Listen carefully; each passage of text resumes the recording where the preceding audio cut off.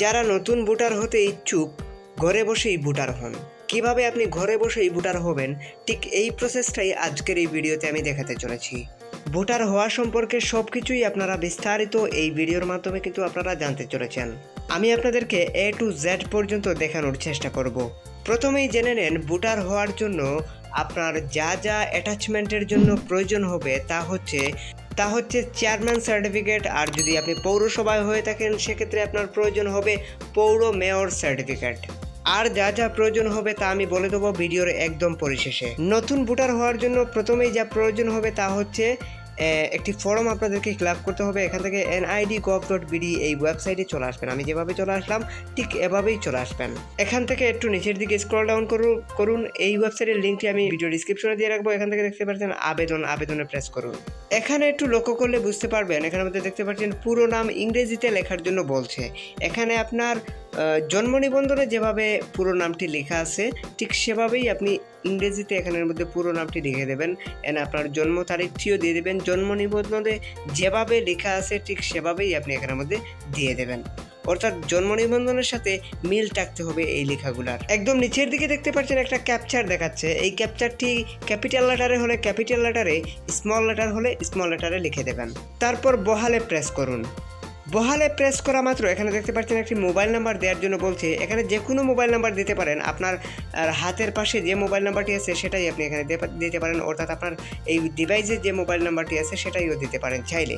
So যে কোনো number আপনি এখানে প্রেস দিয়ে দিতে পারেন, যেটা আপনার হাতের পাশে আছে, সেটাই আর কি। তো এখান থেকে এই নাম্বারটি দেওয়ার পরে এই নাম্বারে একটা ওটিপি আসবে, এই ওটিপিটা এখানের মধ্যে সাবমিট করে দেবেন।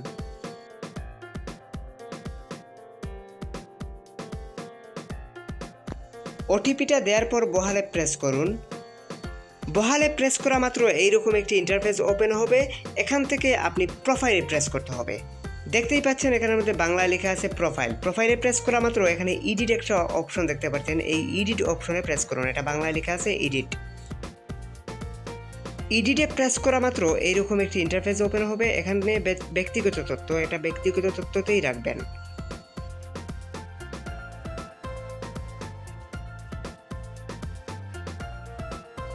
তারপর আপনাকে নিচে নিচে দেখতে পাচ্ছেন বাংলায় লিখতে হবে। মানে হচ্ছে বাংলায় আপনার পুরো নামটি লিখতে হবে।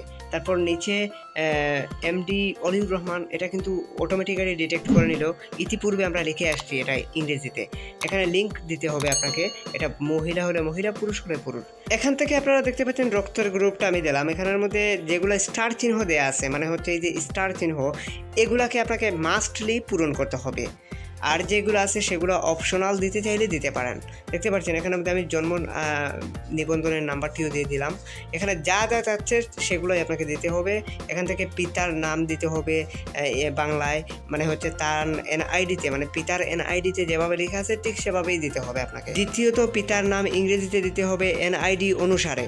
তারপর এখানের মধ্যে আপনাকে যেটা দিতে হবে, পিতার এনআইডি নাম্বার এটা অপশনাল দিতে চাইলে দিতে পারেন, আমি দিয়ে রাখলাম। যেগুলো স্টার চিহ্ন, সেগুলো নিয়েই আমি কথা বলছি। স্টার চিহ্ন ছাড়া কিন্তু আমি কথা বলছি না, কারণ হচ্ছে স্টার চিহ্ন ছাড়া ওইগুলো অপশনাল দিতে চালিয়ে দিতে পারেন। তারপর আমরা স্টার চিহ্ন হচ্ছে যেগুলো দেখতে পাচ্ছি, সেটা হচ্ছে মাতার নাম বাংলায়। মানে মাতার এনআইডিতে যেভাবে লেখা, ঠিক সেভাবেই কিন্তু আপনাকে এখানে বসিয়ে দিতে হবে। তারপর হচ্ছে মাতার ইংরেজি নাম, অর্থাৎ মাতার ইংরেজি নাম যেভাবে মানে এনআইডিতে ইংরেজিতে লেখা আছে, ঠিক সেভাবেই এখানে মধ্যে বসিয়ে দিতে হবে। অর্থাৎ এনআইডি অনুসারে এই নামগুলা আপনাকে এখানে বসাতে হবে। এরপর আমরা স্টার চিহ্ন হতে দেখতে পাচ্ছি বৈবাহিক অবস্থান। এটা যদি বিবাহিত হন, সেক্ষেত্রে আপনি বিবাহিত দিয়ে দেবেন। লাল স্টার চিহ্ন হতে যেগুলো রয়েছে, সেগুলো বাধ্যতামূলক আপনাকে পূরণ করতেই হবে। বাদ বাকিগুলো এগুলো অপশনাল দিতে চাইলে দিতে পারেন, না দিতে চাইলে কোনো সমস্যা নেই। এখানে পরবর্তীতে প্রেস করুন। পরবর্তীতে প্রেস করার পর দেখতে পাবেন এখানে বর্তমান ঠিকানা দেওয়ার জন্য বলবে। আপনার বর্তমান ঠিকানাটা আপনি দিয়ে দেবেন। আমি আমার বর্তমান ঠিকানাটা এখানে দিচ্ছি, আপনারা দেখুন একটু লক্ষ্য করুন। তাই বলে ভাববেন না যে এগুলো আমার মা বাবার নাম বা এগুলো এটাই আমার অ্যাড্রেস এগুলো আমার অ্যাড্রেস কোনো কিছুই না। এগুলো শুধুমাত্র আপনাদেরকে দেখানোর জন্য আমি এক্সাম্পল স্বরূপ দেখাচ্ছি।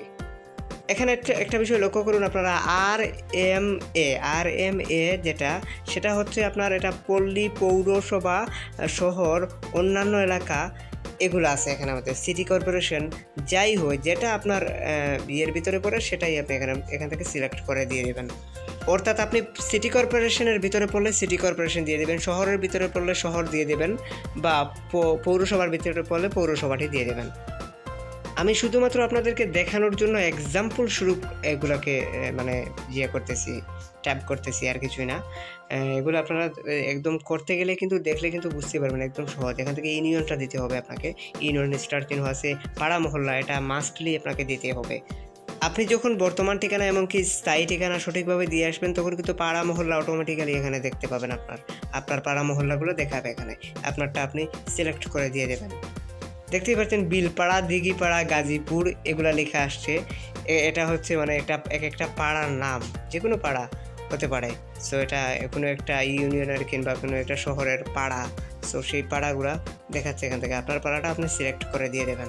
তারপর এখান থেকে হোল্ডিং নাম্বার মানে হোল্ডিং নাম্বার বাসা হোল্ডিং নাম্বার মানে হচ্ছে বাসার হোল্ডিং নাম্বার যদি থাকে, সেক্ষেত্রে আপনার বাসার হোল্ডিং নাম্বারটি দিয়ে দেবেন। আর যদি না থাকে, সেক্ষেত্রে আপনি মানে হচ্ছে আপনার পিতার কিংবা আপনার ঘরের মানে হচ্ছে আপনার বাবার আপনার বাবার নামটা এখানে লিখে দেবেন, আর কিছু করতে হবে না। গ্রামে যারা বসবাস করেন, তাদের কিন্তু হোল্ডিং নাম্বার থাকে না সেই জন্য তারা অবশ্যই এখান থেকে তার বাবা, আপনার বাবার নামটি আপনি লিখে দিতে পারেন, আর কিছু না। এনআইডিতে যেভাবে লিখে আছে, ঠিক সেভাবে জাস্ট নামটা লিখে দিতে দিতে দিতে পারেন। তারপর এখানে আমাদের দেখতে পাচ্ছেন, স্থায়ী ঠিকানা। এই স্থায়ী ঠিকানাটি আপনাদেরকে দিতে হবে। সাধারণত আমাদের স্থায়ী ঠিকানা এমনকি বর্তমান ঠিকানা একই জায়গায় হয়, যদি আবার কারও ক্ষেত্রে কিন্তু ভিন্ন। যদি আপনার যদি স্থায়ী ঠিকানা এক জায়গায় থাকে আর বর্তমান ঠিকানা এক জায়গায় থাকে, সেক্ষেত্রে কিন্তু আপনি সেটা দিতে পারেন, উল্লেখ করতে পারেন।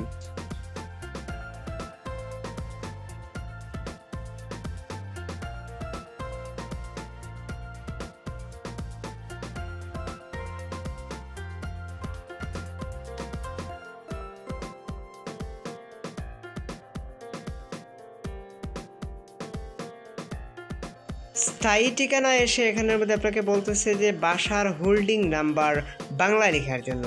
সো আমি এখানের মধ্যে একটা মিস্টেক করছি, সেটা হচ্ছে উপরে ওটার মধ্যে ইংরেজিতে লেখার জন্য বলছিল, আমি ওখানের মধ্যে বাংলায় লিখে দিয়েছিলাম, মনে হয় মেবি এটা দেখে আসছি আমি। এখানে একটু অপেক্ষা করুন, এখানে লিখি আমি আগে।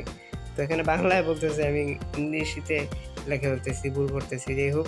তারপর আমি ওখানে দেখে আসি কী লেখা ছিল। বাসার হোল্ডিং নাম্বার এখানে দেখতে পাচ্ছেন বাংলায় লেখার কথা, আমি ইংরেজিতে লিখে দিয়েছি, এখানে বাংলায় লিখতে হবে।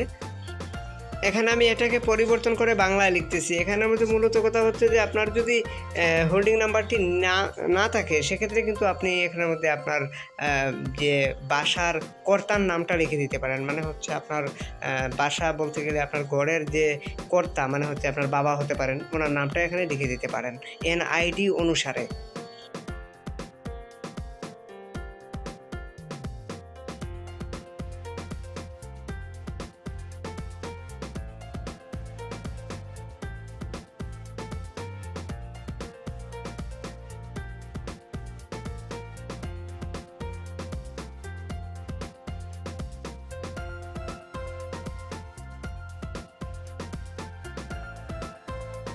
এখানে দেখতে পাচ্ছেন বুটার এরিয়া। এটা গুরুত্বপূর্ণ পয়েন্ট এখান থেকে আপনার বুটার এরিয়াটাকে সঠিকভাবে সিলেক্ট করে দিয়ে দেবেন। যেগুলা অপশনাল সেগুলা নিয়ে কোনো কথাই বলছি না। তারপর পরবর্তীতে ট্যাপ করুন।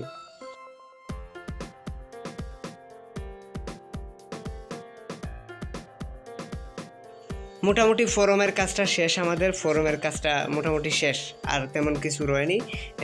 এই এই ছিল আর কি ফোরমের কাজ। এটা তেমন কোনো কঠিন কাজ না, এটা খুবই সহজ কাজ। এটার জন্য কোনো কাগজের প্রয়োজন নেই। দেখতে পাচ্ছেন এখানে লেখা আছে, কাগজপত্রের কোনো প্রয়োজন নেই, পরবর্তীতে ট্যাপ করুন।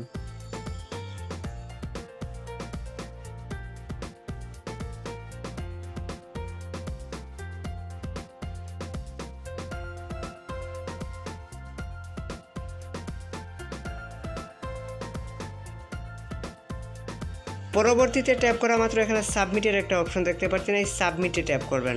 সাবমিটে ট্যাপ করা মাত্র এই অ্যাপ্লিকেশনটা সাবমিট হয়ে যাবে। এই আবেদনটা সাবমিট হয়ে যাবে। সো আপনি সাবমিটে ট্যাপ করবেন। সাবমিটে প্রেস করার পর এরকম একটি ইন্টারফেস ওপেন হবে। এখান থেকে আপনি ডাউনলোডের অপশনে প্রেস করবেন। ডাউনলোডের অপশনে প্রেস করা মাত্র এই মানে এই এই ফর্মটা আপনি দেখতে পাবেন। অর্থাৎ এই ফর্মটা কিন্তু ডাউনলোড হবে।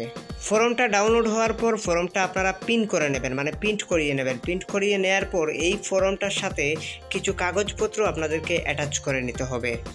আপনাকে অ্যাটাচ করতে হবে স্কুল সার্টিফিকেটের ফটোকপি আর যদি সেটা যদি আপনার কাছে না থাকে, সেক্ষেত্রে আপনি প্রবেশপত্র অ্যাটাচ করতে পারেন। তারপর আপনার যা প্রয়োজন হবে তা হচ্ছে আপনার বাবা মায়ের এনআইডি কার্ডের ফটোকপি তারপর আপনাদেরকে যেটা অ্যাটাচ করতে হবে সেটা হচ্ছে চেয়ারম্যান নাগরিক সনদপত্র। আর যারা শহরে বসবাস করেন, আপনারা কমিশনারের কাছ থেকে একটা প্রত্যয়নপত্র নিয়ে নিতে পারেন। আর যা প্রয়োজন হবে তা হচ্ছে আপনার জন্ম নিবন্ধনের একটি ফটোকপি এই কাগজপত্রগুলো অ্যাটাচ করার পর ফরমের চৌত্রিশ নাম্বার কলমে দেখতে পাবেন, শনাক্তকারীর এনআইডি নং। অর্থাৎ আপনার চেয়ারম্যান অথবা আপনার মেম্বারের এনআইডি নাম্বারটি এখানের মধ্যে বসিয়ে দিতে হবে। তারপর পাশেই পঁয়ত্রিশ নাম্বার গড়ে তার স্বাক্ষরটি নিয়ে নেবেন।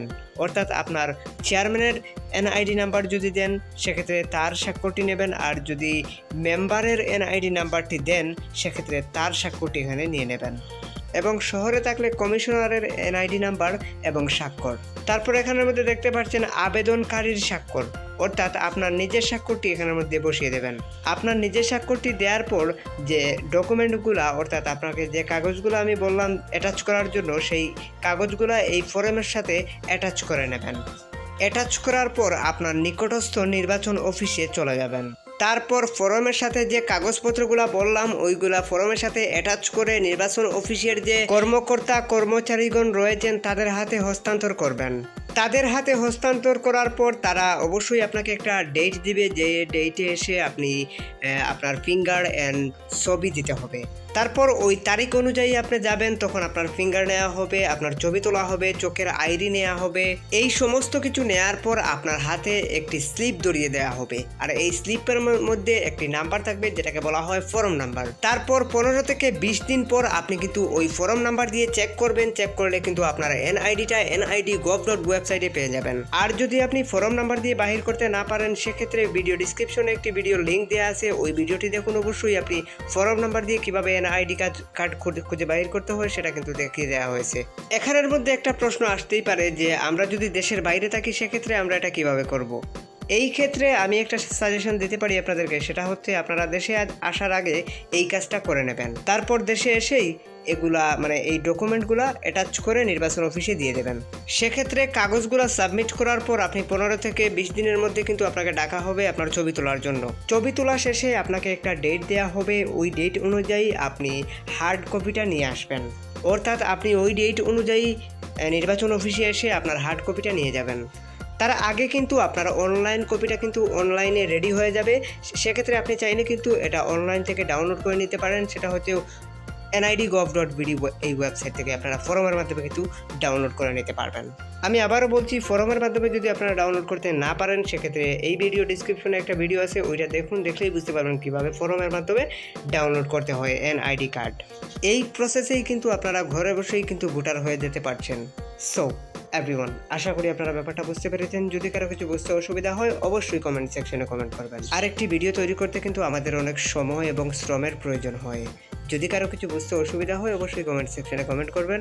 আর অবশ্যই চ্যানেলটি সাবস্ক্রাইব করে সবাই সাথে থাকবেন। সবাই ভালো থাকুন, সুস্থ থাকুন আজকের মতো। এই পর্যন্তই। হেতে subscribe button and press the bell icon